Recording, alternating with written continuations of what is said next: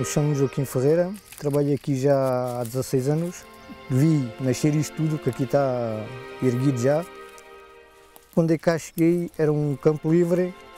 A agricultura que se fazia aqui era sementeira de trigo e cevadas e o espaço onde está a adega era um, uma cova.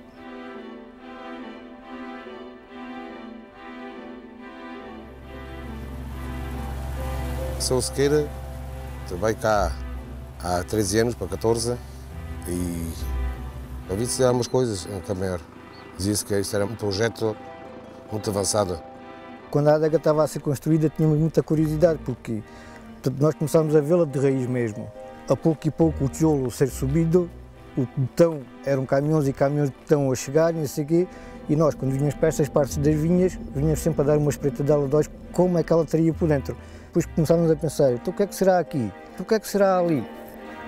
Precisa ver. Né? Se perguntar, é, olha, esse senhor eu nunca ouvi. Dizem que é um bom, um bom arquiteto. Eu já tinha ouvido falar no, no arquiteto Cisa Vieira, só que nunca tinha visto uma, uma construção dele. Pelo que me contaram, foi um almoço com, com o Sr. Rui, onde o Sr. Rui pronto, falou com, com o Sr. Arquiteto que queria fazer, montar uma adega e o Sr. Arquiteto começou a fazer um, um esboço num, na, na prata do, do maço de tabaco.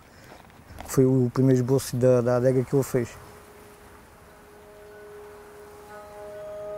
Meu nome é João Manuel Nabeiro, sou administrador do grupo Nabeiro Delta Cafés e eu vivo aqui até inclusivamente há 20 anos. Uh, o porquê do Cisa Vieira, uh, acima de tudo pelo desempenho e pela qualidade que sempre uh, revelou nos seus trabalhos e eu acredito que tenho também um dedo metido nessa decisão tivemos dois ou três projetos, mas de repente deu-nos efetivamente o pensamento. E com o meu pai fomos à procura do arquiteto Cisa Vieira para que ele efetivamente se entusiasmasse e nesse mesmo dia fez esse, esse belo desenho que neste momento está implantado aqui neste alto do Monte das Argamassas.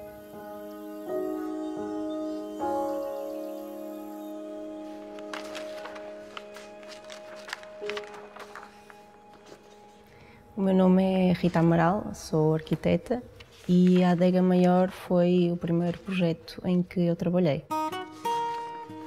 No fim do, do estágio, tive que fazer uma tese final para entregar e fiz sobre a Adega Maior. E eu chamei-lhe o Transatlântico Delta. eu olhava para aquilo na altura e achava que aquilo era um transatlântico que tinha encalhado ali é aquela coisa quando um barco encalha, depois a natureza também se apropria do barco e o barco fica bem na natureza.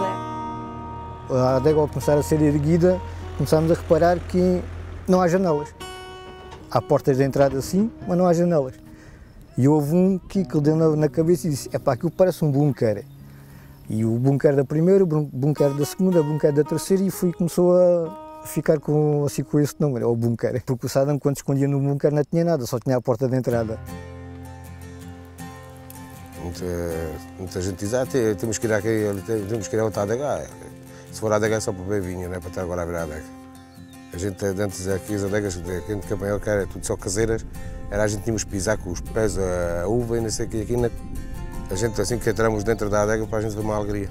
Uma coisa grande, uma coisa bonita, depois ainda por cima, lá por cima tem um espelho de água que vê se quase Campanhal e vê se Porto Alegre. Olha, este espaço aqui era uma pedreira, era uma pedreira que estava uh, no alto deste monte. Uh, as adegas normalmente são sempre subterrâneas e esta surge uh, milagrosamente bem no ar. Não sei, acho que na arquitetura do arquiteto Cisa há sempre formas humanas e animais, não sei muito bem. Não sei se, se é de propósito ou se somos nós que as vemos quando, quando olhamos. Consigo, consigo ver uma expressão. Nós fizemos uma maquete do edifício à escala 1-100, com todos os espaços interiores, os volumezinhos das barricas e dos, das cubas de fermentação, e estava assim posta no corredor de passagem. E o arquiteto Cisa passou na maquete e, sem querer, bateu-lhe, tocou-lhe. Olhou e disse: É lá, esta esquina é perigosa. temos que fazer aqui qualquer coisa. E mandou portar aquela curvinha que se vê na pala, ao fundo. Mandou pô-la redonda, porque achou que aquilo era perigoso. E que mesmo para as manobras dos caminhões, quer dizer, supostamente não tocam lá porque a rampa é mais afastada. Mas eu acho que, que no fim ficou bastante melhor. Eu acho que o, arquiteto Cisa Vieira é assim, uma pessoa reservada para ele e que tenta manter o que ele faz.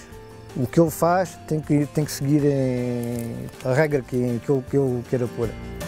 Eu acredito que não sou a pessoa mais indicada para caracterizar o mestre, mas o Cisa é um mestre, é um homem de exceção, é um homem de confiança e é um homem que nos deu, acima de tudo, segurança para que, efetivamente, este trabalho possa perdurar uh, ad eterno. O novo vinho. O vinho Cisa, eu acredito que os consumidores vão uh, degustá-lo com prazer de exceção. Espero que seja também como os outros. Não é por trabalhar na adega maior, mas será bom.